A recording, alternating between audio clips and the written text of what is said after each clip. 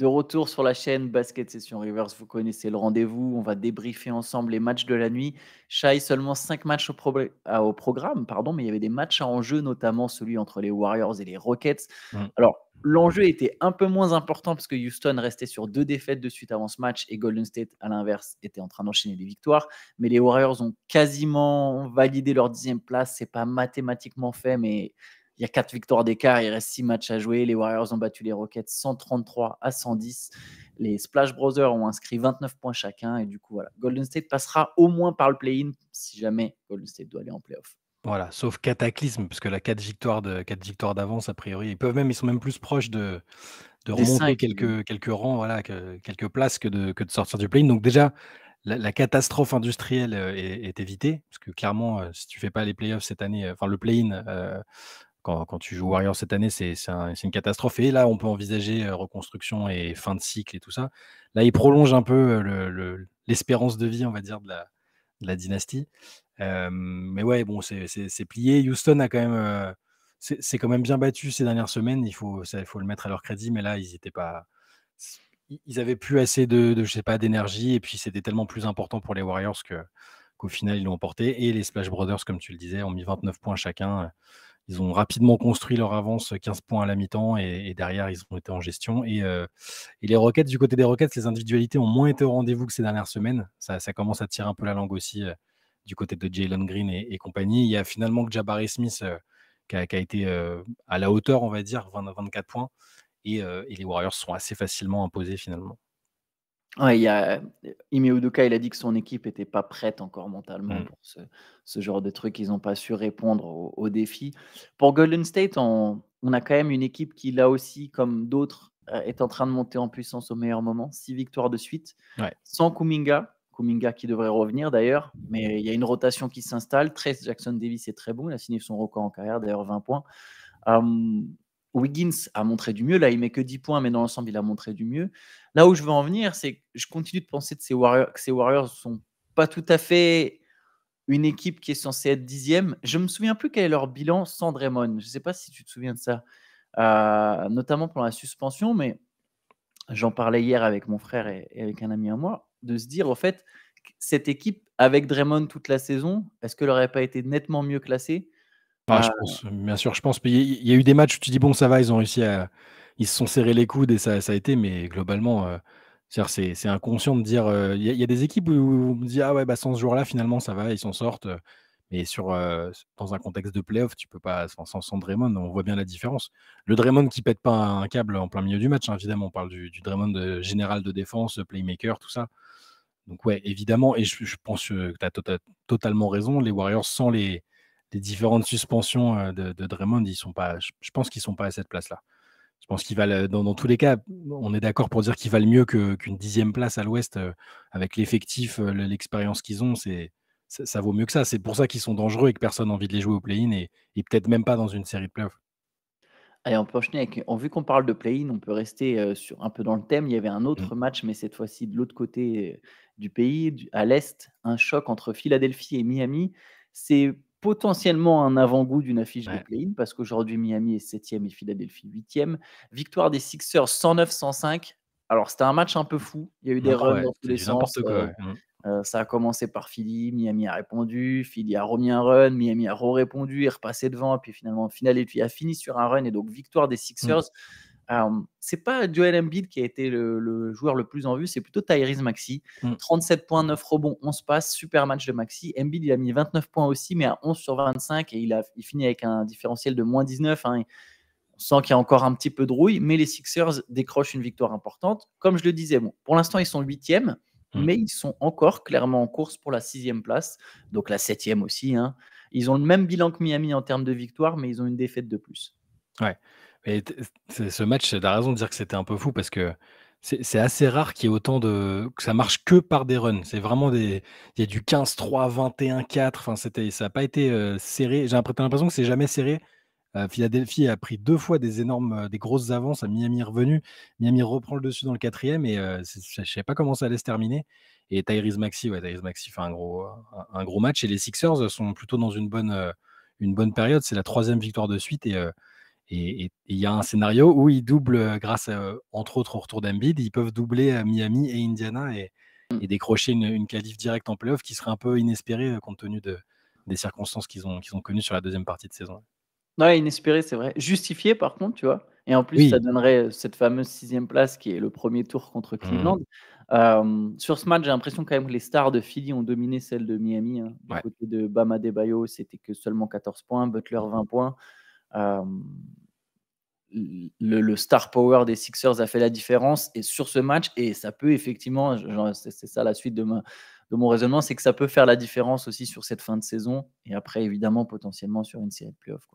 Ouais, mais c'est oui, tu as raison, c'est aussi un avant-goût peut-être d'un play-in, euh, si Indiana tient le choc à la sixième place, ce qui est ce qui est pas garanti, il faudrait que je regarde leur calendrier, mais le Philadelphie-Miami au play-in, on parle beaucoup de bah, à l'ouest d'un Warriors-Lakers, mais Sixers Heat, euh, pour un match, euh, un ah, match à un match de play-in quoi, c'est ah c'est une série de playoffs normalement sur le papier avec avec le retour d'Embiid, je je dis oui tout de suite.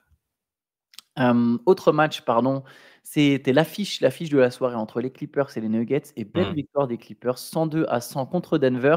Il manquait un joueur 4 de chaque côté, un hein. Kawhi Leonard euh, n'a pas joué, Jamal Murray n'a pas joué.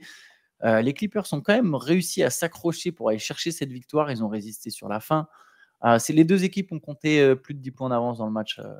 au long il y a eu, chacun a eu, eu ses périodes, mais c'est donc Los Angeles qui finit par l'emporter. Jokic a manqué le buzzer, euh, le buzzer beater à la fin pour la gagne, mais Jokic mmh. fait 36 points, 17 rebonds, 10 passes. Donc triple-double, il était obligé de prendre 24 tirs. De l'autre côté, il y a 28 points de Paul George, 20 points de James Harden et un bon match d'Ivica Zubac, 14 points, 15 rebonds. Ouais, c'est Jokic, qui, Jokic qui les ramène à deux points à la fin. Euh, c'est lui, euh, en allant sur la ligne, provoquant des fautes. Mmh. C'est lui qui redonne du, un peu de suspense sur la fin. La victoire des Clippers, elle est importante parce que on en parlera après, mais Dallas a gagné. Et, du coup, ils, conservent les deux victoires d'avance, les Clippers, grâce à ce, succès. Et bah, c'est important parce que ça, t'évite. Euh, tu as une petite marge de manœuvre avant la fin sur le, sur le sprint final et, ils sont plutôt bien partis pour rester, euh, pour rester là où ils en sont. Et, ouais, c'était un peu. Moi, moi j'ai bien aimé le match de Paul George. J'ai bien aimé Westbrook, encore une fois. C'est la saison où je dis le plus de. La différence. Ouais, c'est la, la, saison presque où je dis le plus de bien de Westbrook, paradoxalement. Euh, je le trouve toujours irréprochable, vraiment en sortie de banc. Il met toujours cette énergie. Et, et, depuis qu'il est revenu, ils, sont un peu moins. le jeu un peu moins statique, un peu moins, un peu moins lent aussi parfois. Et alors, il met que 12 points en sortie de banc, mais il y a l'activité avec les rebonds, les passes. dans un match où tu as James Harden qui est, qui est assez maladroit, Kawhi n'est pas là. Donc Paul George, Paul George aussi 28 points. C'est une victoire importante pour une victoire importante pour les Clippers et et les Nuggets qui, eux, de, leur côté, laissent les, les Wolves prendre un peu plus d'avance en tête. Enfin, en tout cas, l'opportunité de prendre de l'avance euh, s'ils gagnent leur prochain match contre, contre Phoenix. le, Westbrook, c'est à l'image du banc. Quoi. 34 points du banc pour Los mmh. Angeles, 9 pour Denver. C'était un match dans un contexte de playoff et on voit un peu les limites du banc de Denver, chose que tu vois qu'on a déjà souligné, mais dans un match où, les rotations se resserrent et, où ça se joue sur des marges, bah, il n'y a, pas un mec qui sort du lot. Quoi. Christian Brown, un peu, il a manqué d'adresse, mais il a joué longtemps, il a même été sur le terrain dans le Money Time, etc. Mais il y a, à la place de Reggie Jackson, tu vois, Reggie Jackson ne jouait plus dans les dernières minutes, c'était Christian mm. Brown. Mais voilà, il y a pas, tu vois, tu sens de la jeunesse, tu sens des limites. Il y a des mecs que tu peux pas faire jouer. Les Njaji, tu vois, ils jouent plus. Euh, les, Piquet, Gillespie, c'est, les deux, c'est des rookies. Si je dis pas de bêtises, ou Jalen Piquet, il est faux mort. Les deux, c'est des rookies, mais en fait, mm. ils, enfin, jouent pas. Tu vois, Peyton Watson. Même Strother, Strother, il joue plus. il, a joué deux, il, il, va pas jouer. Il va, c'est, le truc que je disais depuis le début. En playoff, il va pas jouer, en fait, ce mec-là. Mm. Et, et, même Peyton Watson, tu vois. et là, il y a, y a, moins d'impact. Et mine de rien, Jokic est entré. Murray, toujours pas revenu. On en est sur 7 ou 8 matchs d'absence de suite, là, sur Jamal Murray comme j'ai dit, il y a deux blessures. Encore une fois, c'est pas anodin. Et Jokic, il est obligé de vachement s'employer. Il prend 24 tirs. Alors, il est dans la force de l'âge, mais euh, tu vois, à la fin, il est obligé de jouer tous les ballons. Quoi. Et, du coup, bon, les Nuggets. Euh, bon, après, les Nuggets. Euh, c'est l'inquiétude. Non, mais tu as raison. De toute façon, c'est l'inquiétude de départ sur le, la enfin, le banc, la jeunesse du banc, le manque de. Les, les, Nuggets, ils vont ils vont s'appuyer sur leur force, ils vont espérer être au complet. Et Murray, je ne suis pas encore inquiet parce que j'ai l'impression qu'ils veulent s'assurer qu'ils se refassent pas mal avant. Enfin, dire, ils, sont, ils sont assurés d'être top 4. Ils vont pas. Ils auront l'avantage du terrain au premier tour. bon. c'est mieux de l'avoir jusqu'au bout, hein, c'est clair. Mais je pense qu'il préfère avoir Murray à, peu près à 100% en playoff. Et... Mais il y a ce risque-là, c'est-à-dire que s'il y en a un qui, c'est un Michael Porter Jr. ou, un Jamal Murray qui n'est pas là sur, sur, pendant les playoffs, ça, ça pose un gros problème, c'est sûr. Et même j'aime bien, les joueurs qu'ils ont sur le banc, hein, même Watson et tout, je, les aime bien, mais on verra s'ils sont prêts, s'ils sont prêts à donner quelques minutes de qualité à un moment. Oui, ils, donneront, je pense. Mmh. Watson comme Brown, je pense que les, les, deux auront des bons moments. Mais c'est en fait, faut que tu faut que tu vois, par exemple, je peux pas comparer l'apport que va avoir Watson ou Brown avec ce que Peyton Pritchard pourra faire à Boston, tu vois. Peyton Pritchard, je sais que sur l'ensemble des séries, peut-être qu'il aura un ou deux matchs sans, mais tu pourras toujours compter sur lui, tu vois, grosso modo, ou 81% du temps. Watson Brown, j'ai plus l'impression que ce sera des passages il y aura des bons passages. Il y aura des bons passages. Peut-être même, peut-être s'il y en a plusieurs, ça serait, s'il y a plein de bons passages, ça serait effectivement un vrai plus pour Denver. Mais, mais ouais, le, banc est une question. Après, bon, de toute façon, pour les Nuggets, il suffit qu'il y ait le 5 majeur au complet. Et, mais au complet, est vraiment en bonne santé, je dirais. Pas, pas, pas diminué, tu vois. Mais les Nuggets ont, encore un peu de marge. Ça m'a fait rire en traînant sur Twitter ce matin. Je voyais, c'est pour dire la, conséquence et la suite de l'histoire des paris sportifs, c'est que autour, autour de Michael Porter Jr., enfin pas lui, hein, mais de son frère, euh, les mecs maintenant ils scrutent les stats de Michael Porter Jr. et il s'est arrêté. Tu sais, t'as plein de mecs qui mettent au moins 15 points ou plus de 15 points, euh, plus, au, moins 10 rebonds. Il s'est arrêté à 14 points, 9 rebonds. Il y a des mecs qui pétaient des câbles dans les commentaires. Euh, et voilà, on voit les, on voit l'arnaque et tout. Enfin, alors que bon, le gars, c'est-à-dire qu'il sort. En plus, sur la fin, il sort un moment parce que là, sur la, leur dernière possession défensive, donc avant leur dernière possession à eux, il sort, il sort Michael Porter Jr. pour faire entrer Watson, euh, qui défend, qui selon lui défendait peut-être mieux. Et les mecs, ils pétaient des câbles pour. Euh, voilà les dérives, euh, les dérives des paris. Malone s'était fait virer, hein, s'était fait expulser de la, rencontre. Ouais, ouais, avec des, des, des, mots, des mots doux pour l'arbitrage. ouais. Et Arden, tu vois Arden qui, qui, lui indique la sortie comme ça, c'est Arden qui a fait, qui a fait l'arbitre aussi. Et qui a 6 sur 23 au tir, hein, Arden. Et il met 20 points, mais 6 sur 23. Mm. Bon, bon, après, il, il, a mis ses 20 points, mais il est encore dans, cette, dans une période délicate en termes d'adresse, là, Arden. Euh, Dallas a battu Atlanta 109-95 les Mavs qui sont de plus en plus proches de se qualifier directement pour les playoffs. De toute façon, tu l'as dit, ils étaient même encore, ils pouvaient même encore mettre la pression sur la quatrième place.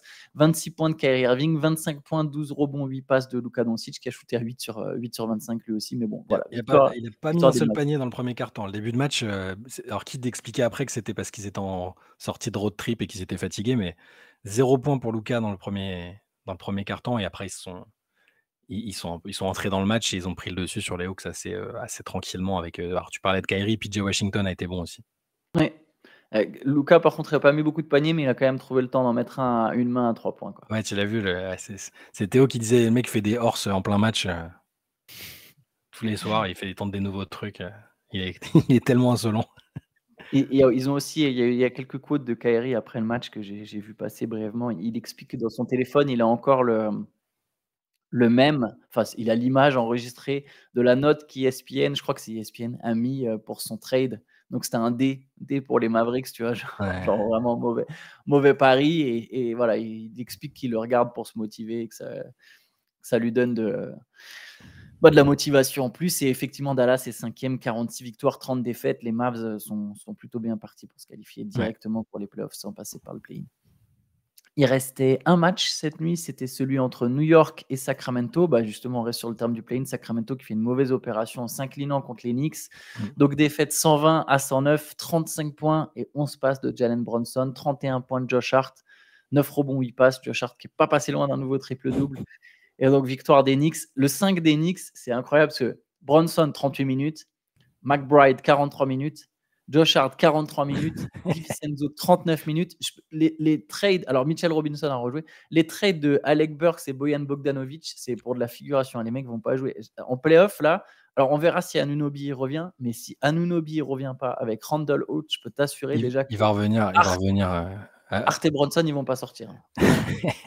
58 minutes par match.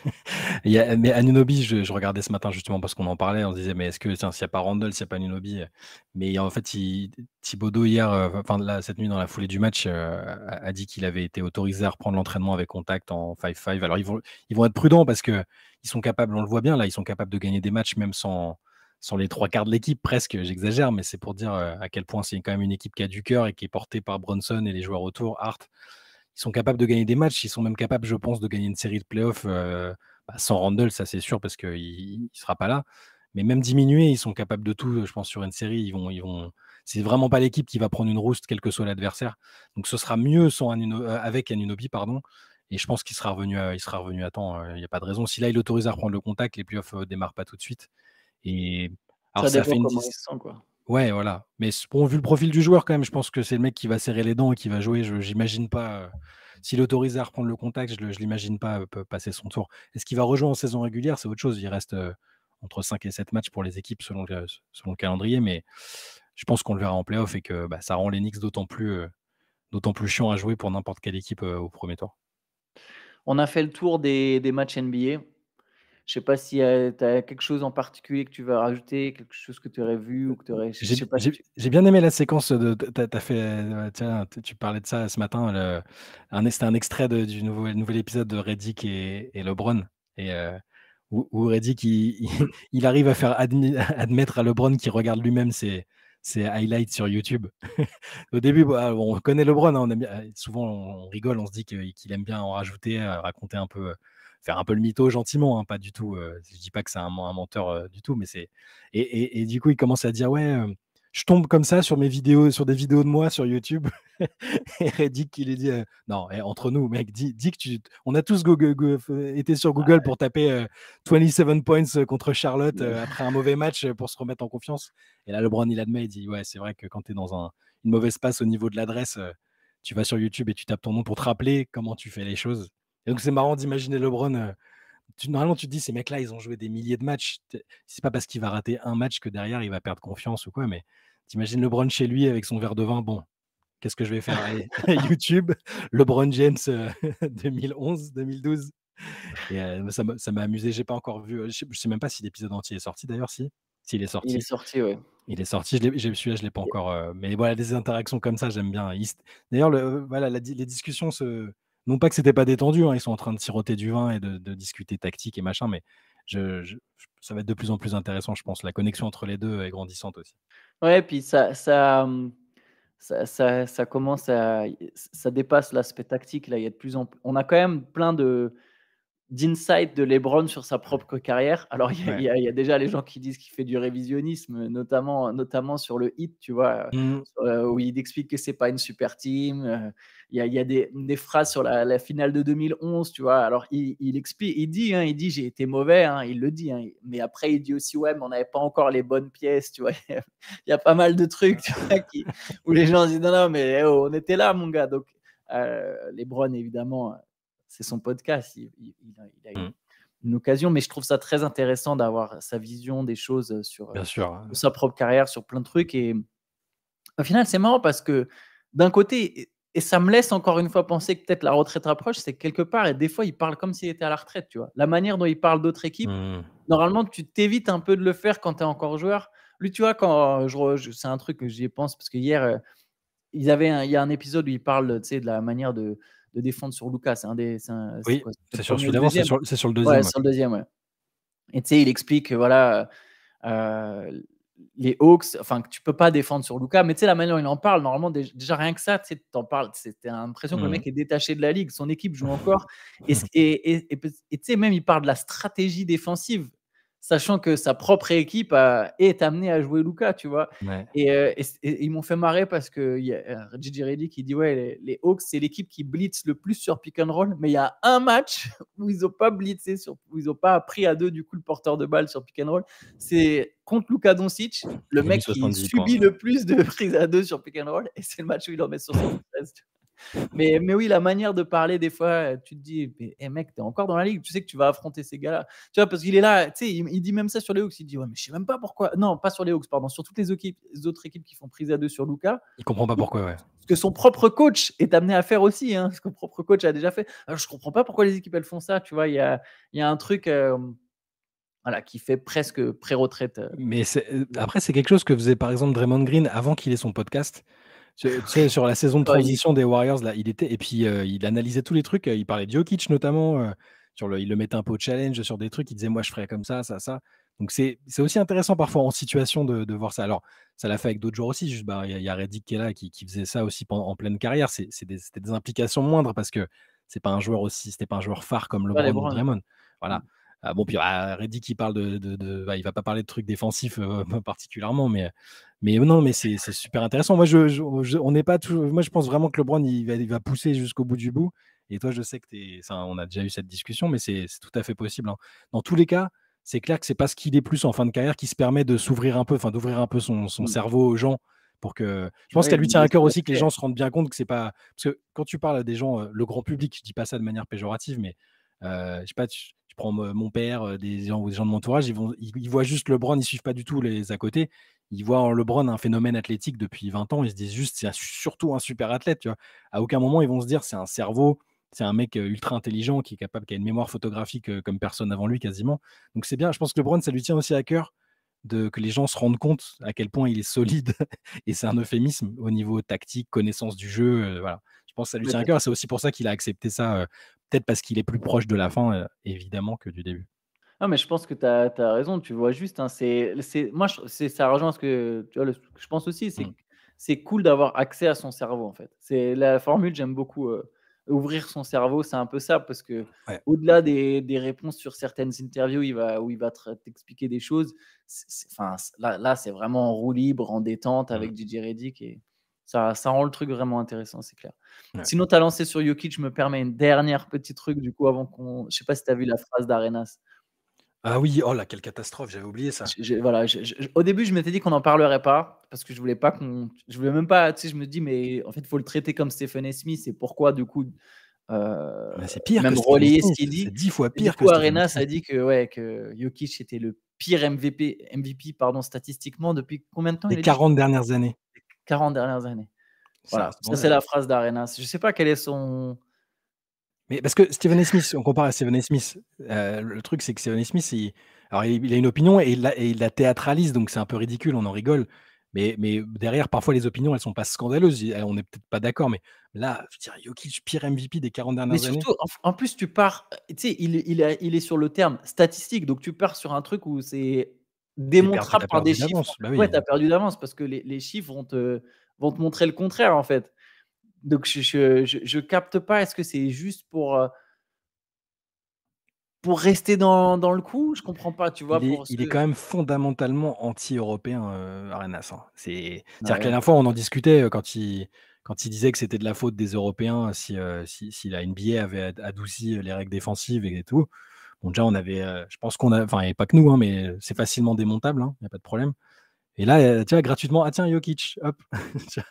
C'est je sais pas, c'est c'est c'est J'ai j'aimerais bien que Kevin Séraphin le croise. ah bah Voilà, ouais, évidemment.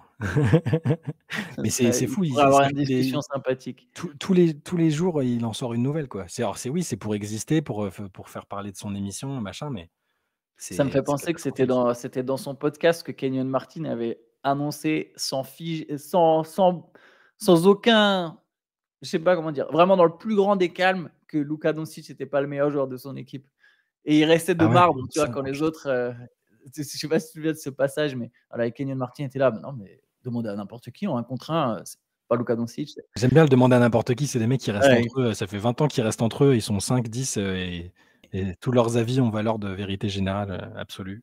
C'est les mêmes mecs qui derrière te disent: «Tu peux pas parler, toi, tu as pas été pro, en fait». Tu sais, genre, tu as pas été pro, tu tu sais pas de quoi tu parles. Mais Kenyon Martin, ah, je dis ça, j'aimais bien Kenyon Martin comme joueur, hein, j'aimais bien les Nets de cette époque-là, mais c'est le mec qui avait quand même, heu, il avait embrouillé Jeremy Lin parce qu'il s'était fait des dreads, heu, pour il lui avait dit: «C'est de l'appropriation culturelle, c'est n'importe quoi et tout» et Lin lui avait répondu: «Mais toi, tes tatouages en chinois, c'est pas de l'appropriation culturelle, heu?»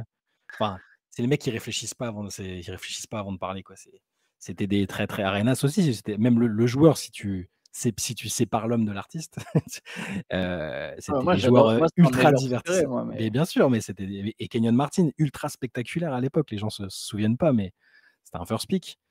Mais en dehors, les analyses, bah, comme on disait la dernière fois, il y en a qui vieillissent bien, presque de manière étonnante. Moi, j'ai toujours eu beaucoup de mal avec Kevin Garnett pendant sa carrière. Je trouve qu'il vieillit bien sur le plan des de la manière dont il parle de la nouvelle génération, de l'ancienne. Donc il a en même temps le côté nostalgique et le côté réalisme sur, ce qui se fait aujourd'hui. Puis tu as des mecs, bah, comme Paul Pierce, et un degré au-dessus, Gilbert Arenas évidemment.